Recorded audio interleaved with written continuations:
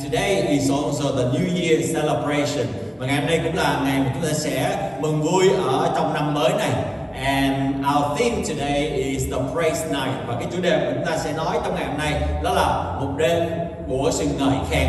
It's a night that we are going to thank God, sing praises to Him. Cũng là đêm mà chúng ta sẽ cảm tạ Chúa và chúng ta sẽ hát ngợi khen chúc tán danh của Ngài. We are going to magnify His name và chúng ta sẽ tôn thờ danh của Chúa.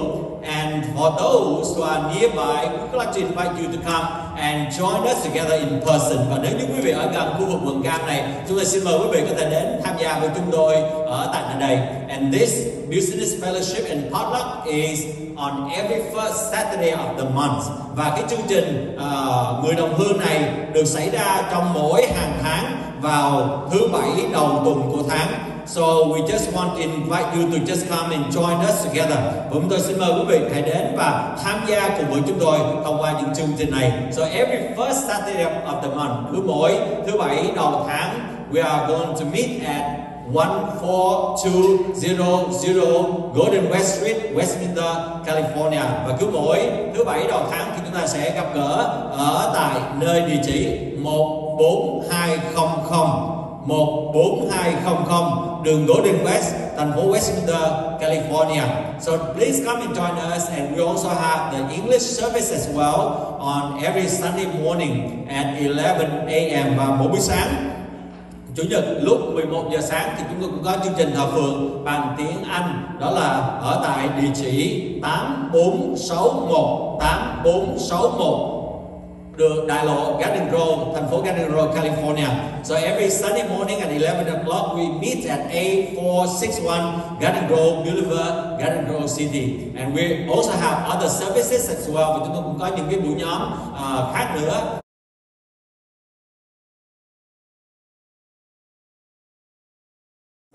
So would you please just stand up as you can and would you please just say hello to one another. So quý vị có thể đứng lên và quý vị có thể chào đón những bà anh chị em của chúng ta. And just tell them Happy New Year. Happy New Year. Hãy nói với họ đó là xin chúc mừng năm mới. Xin chúc mừng năm mới. À, okay. And for those who want to worship together with us in Vietnamese, we also have the service here at 14200 Golden West Street, Westminster on Sunday at 3 p.m.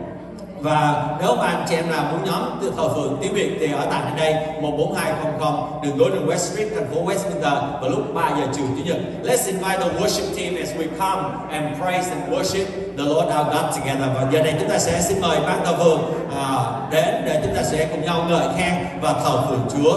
As the worship team come and we are going to read the word of the Lord today. Và khi mà ban thờ phượng đến với chúng ta thì chúng ta sẽ cùng nhau đọc lời của Chúa và xin chúng ta cùng nhau mở ra ở trong sách Thi Thiên. Ở trong sách Thi Thiên we are going to open together in the book of Psalm and we are going to declare the word of the Lord together for all of us tonight.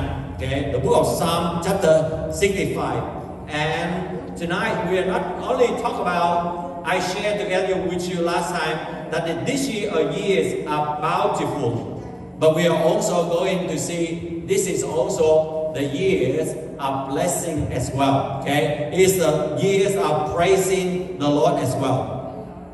Okay, so let us just invite all of our worship team together, and we are going to declare in praise, in worship our God, the Lord our God together. And uh, if you want to stand up, you want to clap your hands, you want to just move around, just go ahead and do so. Huh? Và nếu như quý vị muốn vỗ tay, muốn ngợi khen Chúa, hãy tự do đến với Chúa ở uh, trong sự vỗ tay, nhảy múa, trong sự ngợi khen Chúa. Hãy tự do mà đến với Ngài. Hallelujah. Và chúng ta sẽ có những cái lý do tại sao mà chúng ta sẽ ngợi khen Chúa. Xin xin mở ra ở trong lời của Chúa trong Thi Thiên đoạn 98. Let us also turn to the book of Psalm chapter 98. Uh, à, we are going to talk about the reason to praise God. Okay. Psalm 98 verse 1. Sing to the Lord a new song, for he has done marvelous things, and his right hand and his holy arm have worked salvation for him. The Lord has made his salvation known and revealed his righteousness to the nations. Hãy hát cho Đức Giê-hô-va một bài ca mới vì Ngài đã làm những sự lạ lùng tay hữu và cánh tay thánh của Ngài đã giải cứu Ngài Đức Giê-hô-va đã tỏ cho biết sự cứu rỗi Ngài và lộ ra sự công bình Ngài trước mặt các nước. He has remembered His love and His faithfulness to Israel. All the ends of the earth have seen the salvation of our God. Shout for joy to the Lord on the earth. Burst into jubilant song with music. Ngài đã nhớ lại sự nhân từ và sự thành tín của Ngài đối với cùng nhà Israel. Các đầu đất đã thấy sự cứu rỗi của Đức Chúa Trời chúng tôi. Hỡi cả trái đất, hãy cất tiếng reo mừng cho Đức Giê-hô-va và nước tiếng vui vẻ và hát lời khen Ngài. Make music to the Lord with the harp, with the harp and the sound of singing, with trumpets and the blast of the ram's horn. Shout for joy before the Lord the King. Khá dùng đàn cầm và dòng ca mà hát lời khen Đức Giê-hô-va. Hãy lấy còi và tiếng ngàn mà reo mừng trước mặt vua, tức là Đức Giê-hô-va. Let the sea resound and everything in it, the world and all who live in it. Let the rivers clap their hands. Let the mountains sing together for joy. Nguyện biển và muôn vật ở trong biển, thế gian cùng những người ở trong thế gian đều nổi tiếng ồn ào lên. Nguyện các sông vỗ tay, núi non cùng nhau hát mừng, vui mừng trước mặt Đức Giê-hô-va. Let them sing before the Lord, for he comes to judge the earth. He will judge the world in righteousness and the peoples with equity. Vì Ngài đến đặt đón xét thế gian, Ngài sẽ lấy sự công bình mà đón xét thế gian, dùng sự ngay thẳng mà đón xét muôn dân. So once again, just like the psalm remind all of us, let us clap out our hands, let us rejoice, and even the river also clap their hands. Hallelujah. Cũng giống như thiên tiên đã nhắc nhở mỗi đời sống của chúng ta, đó chúng ta hãy cùng nhau vỗ tay ngợi khen Chúa, và ngay cả các dòng sông cũng vỗ tay ngợi khen Chúa. And if the river can clap their hands, how about you and I? Let's also declare and thank God because our anchor home. And that's why we never be shaken. Và chúng ta sẽ cùng nhau công bố cảm ơn Chúa bởi vì neo của chúng ta rất chắc là bởi vì Chúa Ngài đã gìn giữ mỗi đời sống của chúng ta. We are on the rock and that rock is the Lord Jesus Christ. Và chúng ta đang đứng ở trên bằng đá của mọi thời đại. bằng đá đó chính là Vua Giêsu của chúng ta. Come on.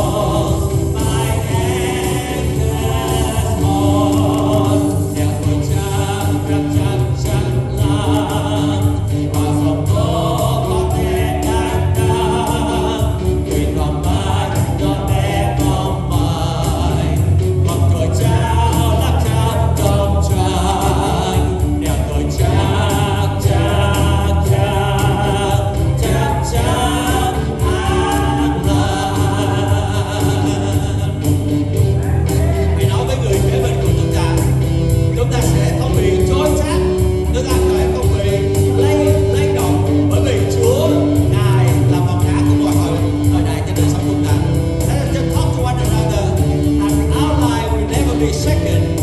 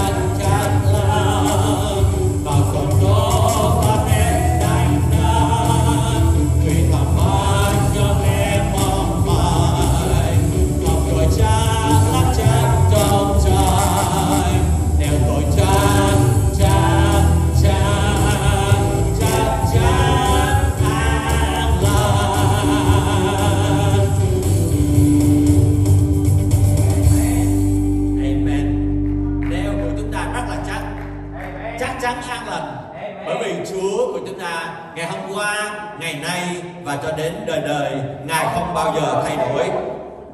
Our anchor homes because our Lord Jesus Christ, our rock, will never change. He is the same yesterday, today, and forever. Amen. And that's why we can also come to Him and trust our life in Him. Và đó là lý do tại sao mà quý vị và tôi mà có thể trông cậy